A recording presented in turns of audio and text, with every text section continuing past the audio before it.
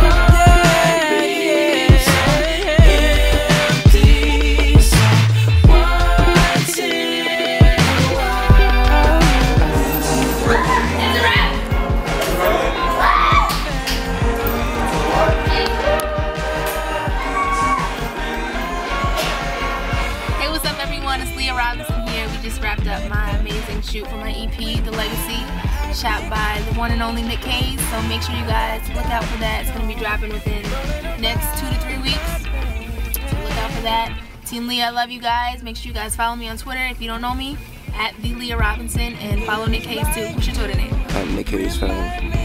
At Nick Haze.